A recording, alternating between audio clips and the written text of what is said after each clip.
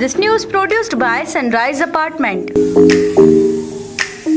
गोसे विभाग द्वारा संपादन किए गए रास्ते पर विदर्भ पाट बंधारे विभाग की ओर से ब्रिज का काम संत गति से शुरू होने के कारण 25 से 30 गाँवों के संपर्क वाले रास्तों के ठेकेदारों ने डाइवर्जन रास्ता तैयार कर दिया किंतु इस भाग में ओवरलोड रेती के ट्रक चलने के कारण बेहद दुरावस्था होने से इस रास्ते से पिछले 10-15 दिनों से कई दुर्घटनाएँ हो रही है संबंधित ग्रामीणों ने प्रहार जिला प्रमुख अंकुश वंजारी को संपर्क कर इस विषय को लेकर रास्ता रोको आंदोलन किया। इसकी जानकारी मिलते ही कारधा पुलिस स्टेशन के एपीआई व पुलिस महकमा बड़े पैमाने पर वहाँ पहुँचा।